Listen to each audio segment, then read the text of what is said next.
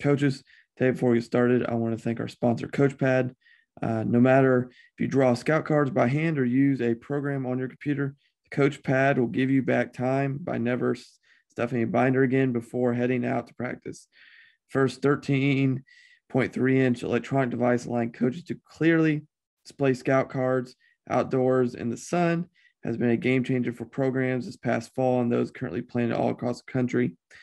This new technology allows coaches to coach and not the monotonous task of stuffing and dealing with binders on the practice field. Check out the Coach Pad and Coach Pad Mini on thecoachpad.com. Please make sure you check out our sponsors, our affiliates.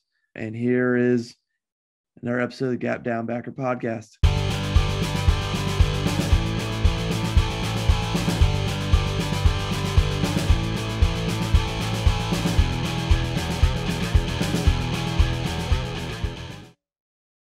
Uh, welcome back to another episode of the Gap Down Backer podcast.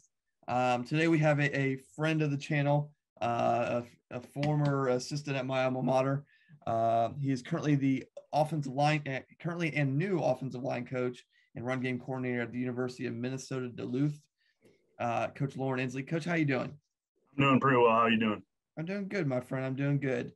Um, unfortunately, the I mean, the last two times I've seen you was for our clinic and for uh, spring at OU.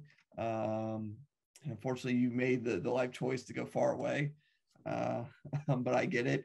Um, but I mean, just for short version for people who may not know you, I mean, how did you end up as the run game coordinator, line coach at uh, Duluth? Yeah, uh, so I was over at Ohio with uh, Coach Allen Rudolph. I was assistant offensive line coach over there. Um, really wasn't looking to leave. It's a great place with a great staff. And then uh, Duluth had an opening for offensive line position, and they actually got a hold of Coach Albin, started making the connection. And then I actually have a ton of friends that either played here or have coached here at one point. So I knew I was going to a good program with good people, and that that's really what matters at the end of the day. And once once my buddies that have been here told me how great the staff it is and how beautiful Duluth is, I kind of jumped at it for sure. I get it. And like, I also want to kind of hit on because you've had an opportunity to work for uh, and work with, however you want to phrase it, um, two really good offensive line coaches as you've kind of been the assistant of line coach. I mean, obviously, uh, Coach Prevost um, South Dakota and and um, Coach Rudolph, who I can't say enough about from personal experience. I mean, he's, he's a good friend of mine. He'll just text me cherry blossom pictures randomly. what what was that kind of experience like working for those two guys? Because um, personality wise, they're obviously very different, but I mean, they kind of pull from each other at times. And I know uh, they've kind of talked to each other a lot about what they do and how they approach things. Yeah. So, uh, like the systems are completely different. So, right there at South Dakota, we're a little bit, a lot more spread, wide open, using RPOs to kind of handle some of the run fit issues that we were getting. Um, up front is a lot different than what we were doing at Ohio as I was transitioning out before I left South Dakota, I kind of had that connection with Coach Rudolph, and we were started communicating with him. We started watching some of his courses that came out that he has over on CoachTube. We got him on Zoom a few times, so he kind of taught Prevost and me at the same time some of the things that he had been doing. And I, I've known Coach Rudolph now for five, six years, um, and I met him really early in my coaching career, and he's been a resource for me the whole time. So I made that connection. And then uh, at South Dakota, we started implementing a lot of Coach Rudolph stuff. But system wise, it couldn't be farther from uh, each other. Uh, we, like I said, we're spread at South Dakota, fixing things with RPOs. Then we get over to Ohio, and everything is a check system. And now all of a sudden, we're adjusting the numbers with blocking schemes, having receivers dig out safeties, things like that running a lot more 12 personnel things. So I really think it was great for my career because I had always been an up tempo, you know, 10, 11 personnel guy, um, using a lot of RPOs, using space, things like that. And then when I made the transition over to Ohio, I learned a whole new style of ball with the 12 personnel, how you can really mess up some run fits and things like that with it. So it's a great experience for me. Um, being able to work with both those guys and like you said, completely opposite personalities.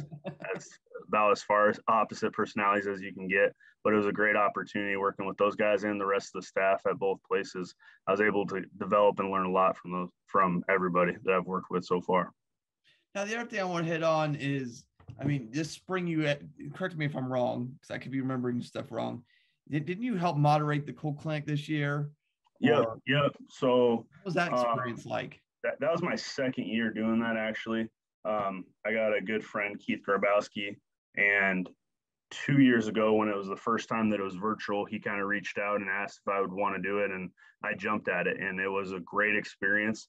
Um, you guys kind of see the clinics at the end, right? But to get there, there's about 20 to 30 minutes with me and whoever's presenting where we're making sure the slides are working, we're making every, making sure everything's great, the video, all that kind of stuff. And a lot of that time I got to meet those guys. And I mean, we're talking NFL guys, high, high level power five guys. Um, and I got to meet those guys and, you know, pick their brain, get phone numbers, and then reach back out to them. You know, the great thing about the offensive line uh, community is it's very open and it's a group that wants to teach each other and wants to help each other learn and grow and develop. So working those cool clinics have, have been really awesome for me. Uh, just getting to know those guys and be able to have some resources at my hands. Yeah. And like, I mean, obviously the cool clinic's a whole nother animal itself. And I kind of wish it would go back to in person at some point. I can't tell you how mad I was because I'm in Ohio this I last know.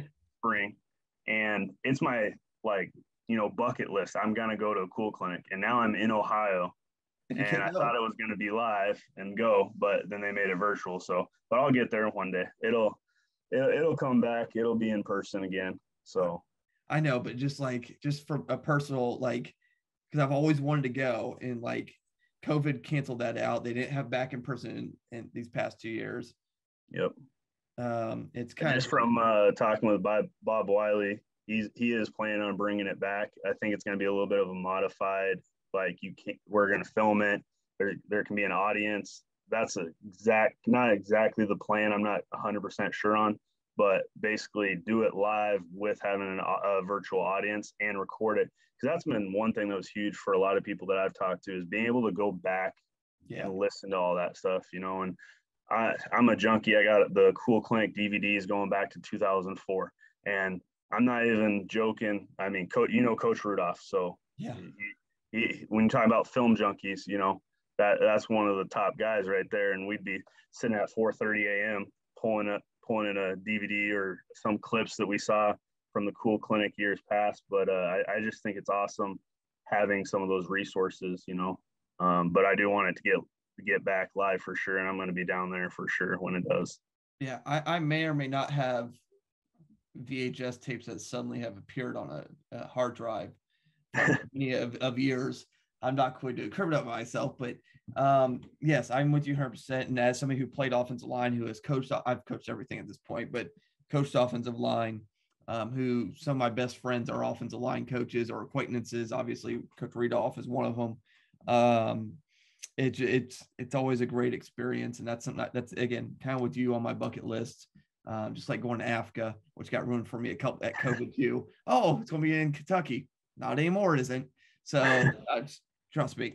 Um, but yes, and, and like I said, so um, but also kind of with that, I mean, going back to our boy Rudolph, and I mean, one of the, I mean he's very he's a very good offensive line coach, um, especially in zone, and they, I think we both know that. And yep. I kind of kind of one of my fondest memories uh, of, of this past year is um, obviously you were you were with him at our clinic this year that we held in person, and obviously my speaker that was supposed to come after him couldn't make it, and God bless this man. You two were in that room for about two hours just talking wide zone nonstop for two it, like so it, it, it's it's one of my best memories that I've had this past year. I mean, he could have gone for eight to ten hours. I know he could that right now. I, I, I trust me, I know. I could have just left him in that room the entire time and he'd been fine. And that for room sure. would not have left outside nope. the restroom. Like, I mean, nope. I think maybe one person left in between session one, session two, and that's because they had to go speak. Yep. So, um, but yeah, and the passion he speaks about it. That that was oh. one thing as a you know I'm not a young coach anymore, but I'm younger, and just watching him get up there and speak about it with so much passion about what he was talking about and the, you know, his feeling towards it. You know, he's a special one to watch for sure. Now, but kind of to my question to that point is, is you've had the opportunity, like I've studied wide zone a lot this off season. I mean, what is, what has that been? What have you been able to take from him, uh, wide zone before we got and get into the mechanics of it from an offensive line standpoint? What were you able to take from OU, him, the resources you've gotten obviously from the Cool Clinic? What what have you kind of been able to pull from there and from those experiences? Yeah, I, I think a lot of things. You know, I had never been a traditional wide zone guy, outside zone guy. Um, in the past, I've always been inside zone. And then COVID hit, and it gave everybody really an opportunity to kind of study some things that you might not have knowledge of. Um, and that was one of my big COVID projects was start studying the Browns, the 49ers, um, Baylor, Eric Mateos, what some of the stuff he's doing over there. And I started studying those and getting all the film of it. And then when I transitioned over to Ohio, you know, they're inside zone. We didn't run any wide zone um, in my time there. They're going to run inside zone and they're going to keep running inside zone over and over again. And you're, going to try to make you stop it, you know but that didn't stop uh, me and Coach Rudolph from talking and having those conversations about it because obviously he's ran at other places and learning some things there and picking it up. And you know, I'm I'm one of those guys where I'm I'm constantly trying to learn some different schemes because you never know where you're going to end up. And now I'm at Minnesota Duluth and we're running a lot of wide. We call it outside zone here, but wide zone. Um, and now I'm implementing all those things and I'm I'm using all of it here now. Uh, some of the biggest things are just the stressing of teaching the backside hand and the backside foot. Everyone wants to keep talking about on reach blocks the play side arm and the play, and the getting the hips across and everything like that. But if you really drive at the angle you're supposed to and fire off the ball, okay, it's, it's coming from the backside and not really trying to teach too much of the front side of, of the scheme. I think is huge on it. Um, and then having no fear, running off the football and going. You know, I think there's too many times where you put too many doubts and fear in them. Teach them how to run off the ball and then teach them if they get in a bad position, how to fix their positioning from that bad spot right there. I think would be the biggest things that I took from him as far as wide zones concerned. Yeah. Now, I, I, obviously, like I said, they, they're not they're not going to really run wide zone. That's that's not who they are. They've been an inside zone team forever. Like that's just yep. that's just who my alma mater is, which is fine. They do it really well. And um, but like from from as as you work this, I mean, and you've kind of had some, I mean, and as you're approaching teaching this and the the experience with it, what do you think are some things like people miss as you kind of like talk to other coaches? Like, because the, the great thing is when you're studying something for a long time, you can ask people, I mean, what their common mistakes are. So, what have you kind of been able to pull that are like common mistakes people try to run wide zone? Yeah, I think the biggest thing is you know, over coaching the reach part of it and trying to get the hips across. You know, so like at Ohio, we didn't run wide zone, but we ran a lot of speed option where we're reaching it, yeah, uh, reaching across there. And I think too many people just try to teach their guys to throw the hips across instead of drive your hips through and l- allowing your hips to naturally come across if it's going to get reached like that. I think that's one of the biggest things. Some of the techniques from the center point of view, when you have a shade play side, um, we used a hook 'em technique, a longhorn technique at Ohio that I thought was really good, where we're forcing that head across and really trying to think of landmarks and getting our bodies across there. And then as far as the backside cutoff, um, something that I took from a few of the guys that I talked to is really tr- as when you're on the backside, try to aim at the hip point of the next play side adjacent offensive lineman. Okay, so that's kind of the landmark you're going, and then you're cutting through there and yeah. getting upfield on there. Um, one key mistake that I think a lot of people make when they're bucket stepping, especially on the cutoff part of it, is their second step still is pointed at the sideline. Um, if you guys can kind of visually think of it, you take that bucket step and then your guy takes his second step and that foot is still pointed straight at the sideline. Whereas you need to really angle, start your like departure angle upfield with that second step. You're not going to hit it and go completely vertical, but it needs to be starting to point towards upfield. So those are those are some of the key things that I think just talking with guys and one of the biggest things is getting reps at it. You know, you it, it's an expensive play. Don't. It's not something you just throw in there. I think that's a mistake I see a lot of guys making is they use it as like a complementary play. And like we talked, you know, we run inside zone at Ohio, and I think we did it, you know, pretty dang good. Um, but it took a lot of reps to be good at inside zone the way we did it. We didn't have that many reps to put into wide zone too, you know. So just being smart about how much time and how much reps you can get of a play, I, I think is crucial. Yeah, no, I, I agree like I said, that that's kind of something we wrestled with whether we were going to install it this year or not. Is is did we did we want to put all the eggs in that basket and where we're at, or did we want to be able to still run some of our stuff? Because, like you said, it is especially when you don't have spring ball in Ohio for high schools. Yeah, kind of limited on your time. Yeah, we got a couple extra days this summer, but it's still not the same when you're not in full pads. You know that as well as I do. Like, sure. Like I I can I can do so much with my offensive line during the summer, but you don't know who you have really until pads come on. It's not like yeah. where you're recruiting some kids and knowing what you got. Um, and you know, just talking about that in general, some people think that they can have all these schemes, and as long as they teach it and the kids can say, repeat back what their job and responsibility is, that that means that they can keep adding and adding. But the reality is, if they can't instinctually react to things that happen on the field, they don't really know the play. You know, they might be able to tell you what their job. Hey, I have a drive reach on this, um, but they need to be able to react instinctually once they get on that field and just everything just come natural to them out there. And to get there, get them to that point, it takes a lot of reps. Yeah, I, I agree. And like now, the other thing is from your studying, like, and I, I kind of want your opinion on this. Like, I know, I know there's a camp that really loves wide zone to the short side. I know there's a camp that really wants to have a tight end or a wing H back, whatever the hell you want to call it, quote unquote. I don't. That's semantics at this point. From your from your research and kind of your and again, it's going to vary on team and who you have. Like that's that's and how people line up. But like, what do you think typically allows offenses to take advantage of stuff more? Is that is it that tight end side or H back side? Is it the short side? Um, is it something balanced like a double tight set? Because I mean, we talk. I mean, our alma mater will hit 11, 12 personnel, no problem. Yeah. Uh, what what from your personal opinion, what do you kind of think? I, I personally like holding both. Um, I think it makes you a little bit more dim- dimensional and gives you a little bit something different. Um, I think teaching the running back is important on the difference between going to attached tight end or not, or a tight a play side tight end, yeah. um, and teaching the tackles a little bit different.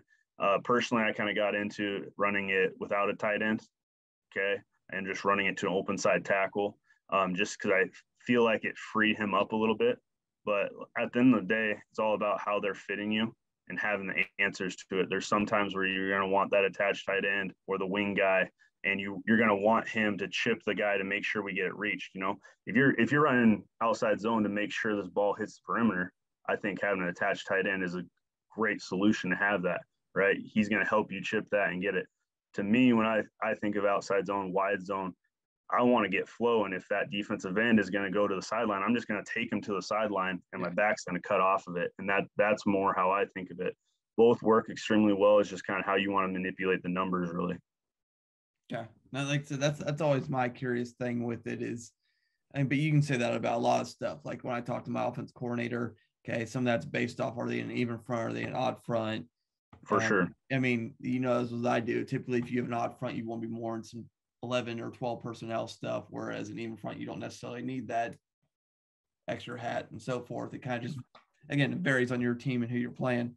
Um, but like, I mean, how big, like, because you mentioned bucket step in there, and I and I know there's a camp of wide zone people who are not big bucket step people. Um, why why the bucket step? What advantage do you think that gives you on certain parts of the wide zone? You know, I usually just use it on the backside, you know, um, when I can turn and get my head across and try to cut off some guys. Um, I think you're running full speed, and especially if you if you're a backside tackle that has to cut off a three tech, you're not going to get a lot of help from your guard because he's got to get going. I think it allows you really to set that angle that you need to get there. Um, but like I said, I think the key is more the second step, right? Um, you know, and I, I, know there's a camp that doesn't agree with it, and I'm not saying which one's right or wrong. I'm just saying which one I know, which one I've talked to guys yeah. about, and which one works for for my guys. And what what I feel is successful. You know, um, to me, I think it's really hard to ask a guy to cut somebody off if you're taking kind of like a drop step more. Okay, um, I want my body in front of them, and then if I overshoot it, there's some tools in our toolbox. Um, out, uh, Coach Mirabal at Miami, he's a guy that I talk to a lot about some of the tools that he that he does with his guys.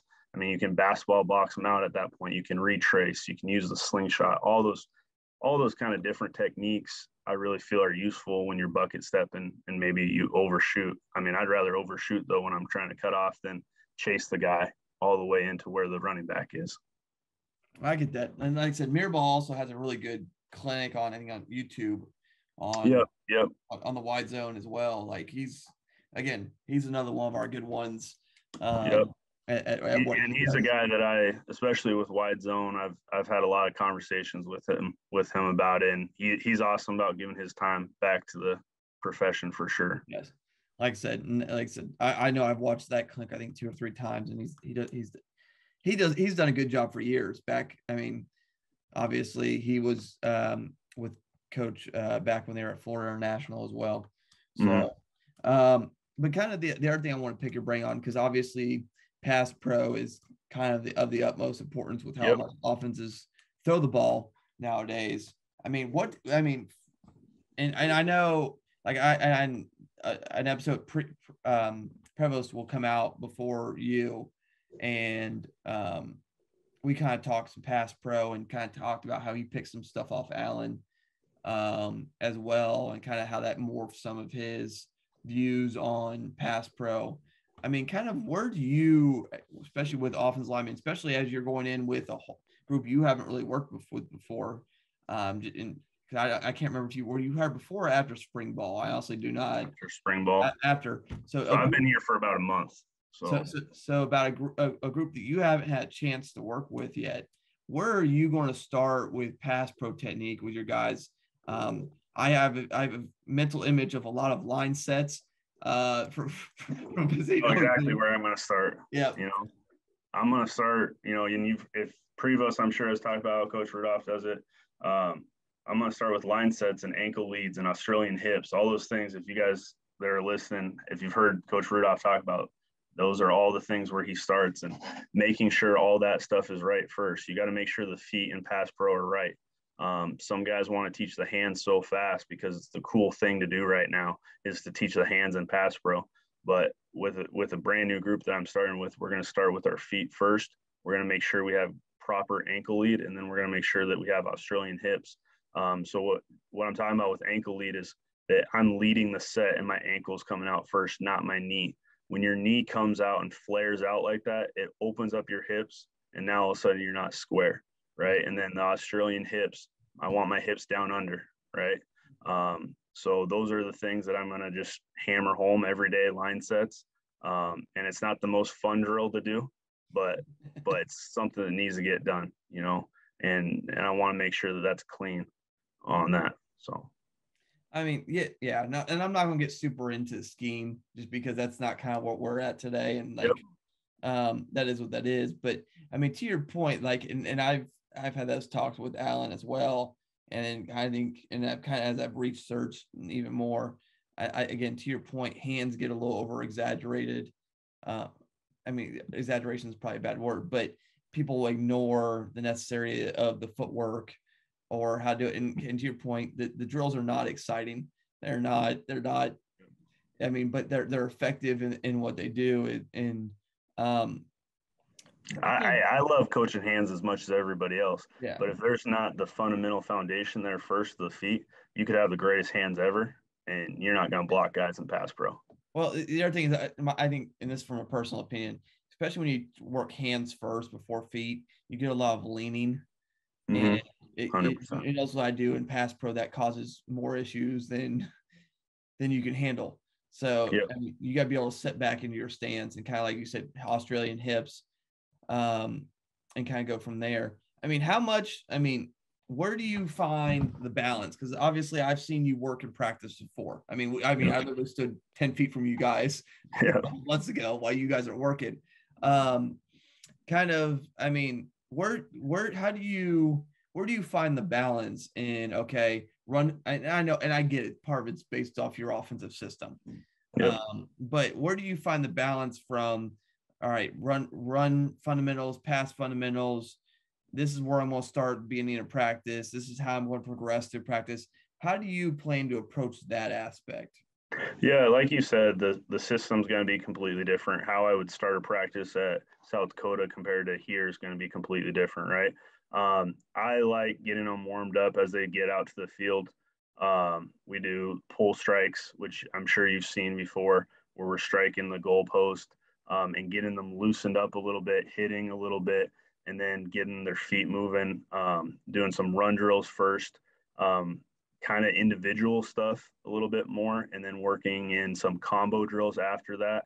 Um, and then usually there's some kind of team period, something like that. And then I'll start working some of the pass drills as we get into it, get closer to one on ones, things like that. As far as devoting your time, I think it's just important to know your system um, that you're running.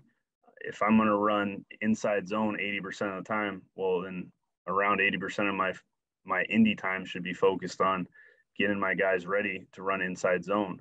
So I think that's that's a crucial part of it. Um, I personally like kind of separating days a little bit.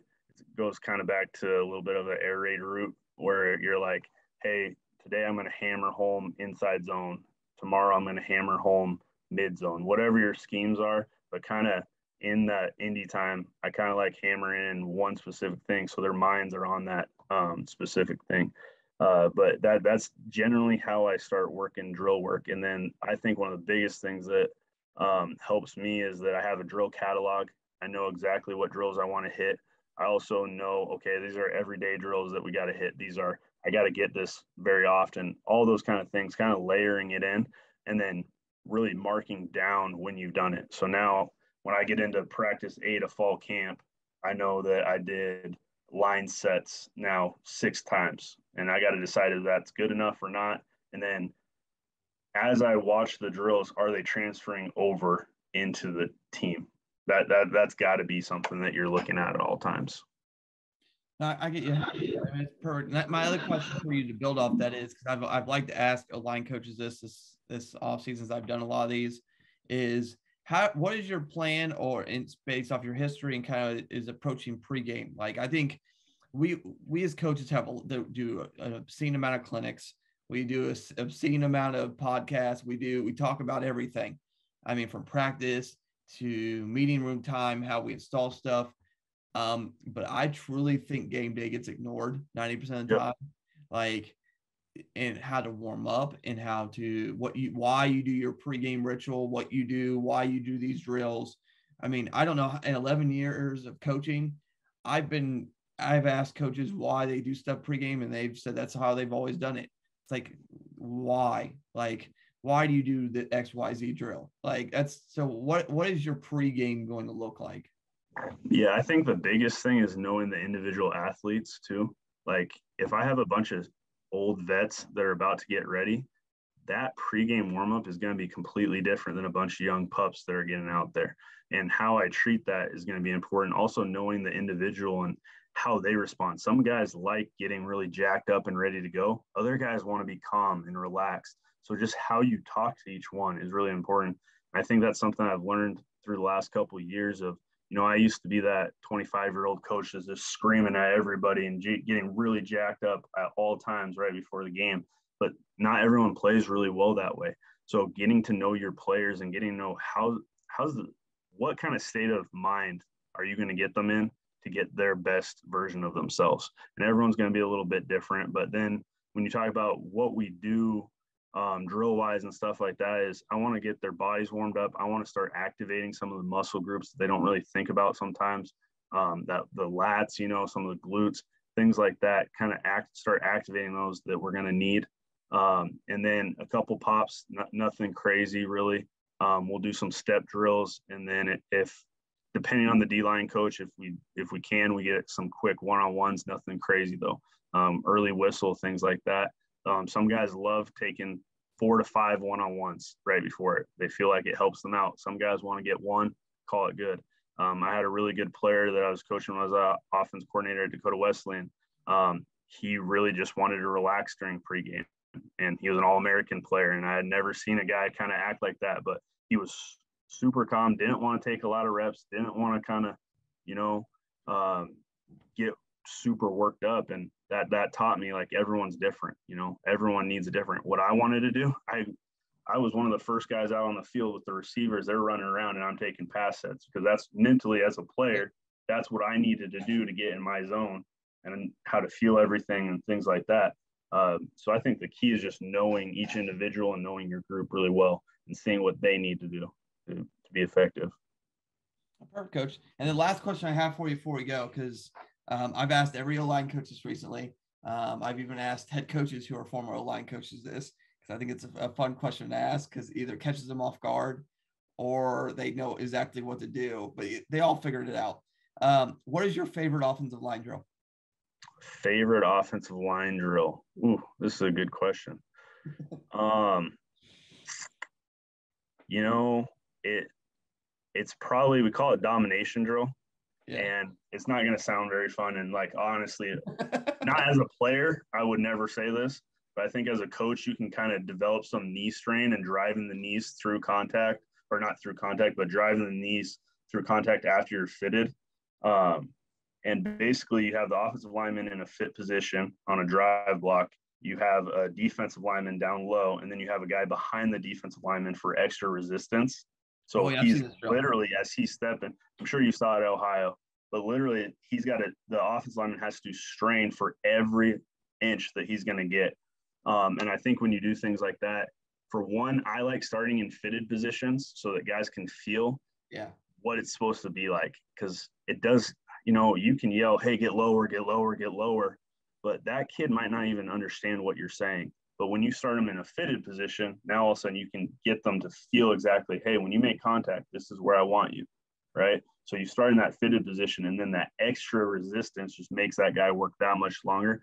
And guys honestly hate it because it, it sucks, man. It, it sucks, but that's probably my, my favorite drill, really. Um, and then last thing I got for you before we go, because I got this text from Allen while we've been on here. Of course. Um, he wants me to tell you that he thinks the world of you and that he's super proud of you. So that's, I was told to relay that to you. Um, just, that's awesome. Uh, for anybody that doesn't know Allen Rudolph, um, not only is he, in my opinion, one of the top O line coaches in America, and I really mean that, his how he develops guys. I mean, I learned more in the last year working for him than I could have ever dreamed of. Um, and just how he develops guys and everything like that. But the person he is, you know, um, he's family to me. He, he, my sons, you know, they're asking my oldest, my three year old, asks about Coach Rudolph all the time. Um, and he, he's just a genuine person. And all the guys at Ohio, you know this, yes. but for everybody listening out there, uh, that's a good group of people. You know, Tim Albin is a great human being. That is um, yep. You're you're fortunate when you get to work for great people, and then on top of that, they're great coaches as well. So my time there, I learned a lot for sure. Yep. So, but he just wanted me to let you know that. So, uh, coaches, um, obviously, give Coach a follow on Twitter. Um, help him uh, not only expand his network, but uh, recruiting and anything else um, as Coach goes through. Um, Coach, I mean, I hope you have an extremely successful season there at Minnesota Duluth. Um, like, share, subscribe, all that lovely jazz. Check out our sponsor, Coach Pad in the bio. Um, otherwise, that's I think that's it for today. Coach, thanks for coming on. Thank you.